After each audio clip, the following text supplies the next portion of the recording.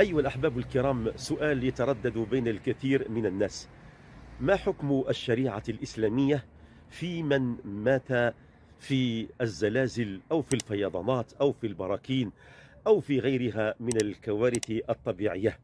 الذي مات بهذه الكوارث ويسمى شهيدا لأن النبي المصطفى صلى الله عليه وسلم لما سئل ما تعدون الشهيد في أمتي؟ قالوا الشهيد في أمتك من جاهد لإعلاء كلمة الله أي تكون كلمة الله هي العليا مات في ساحة المعركة مقبلا غير مدبر.